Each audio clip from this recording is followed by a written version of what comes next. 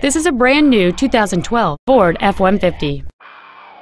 It features a 3.7-liter six-cylinder engine and an automatic transmission. Its top features include a double wishbone independent front suspension, a low tire pressure indicator, traction control and stability control systems, and a limited slip differential.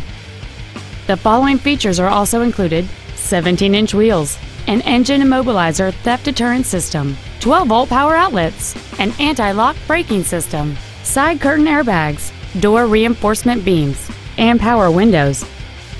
Contact us today to schedule your opportunity to see this automobile in person.